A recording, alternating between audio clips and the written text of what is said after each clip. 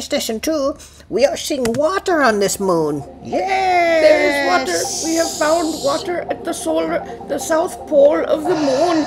Oh, look, there's Prabhu. He's already there.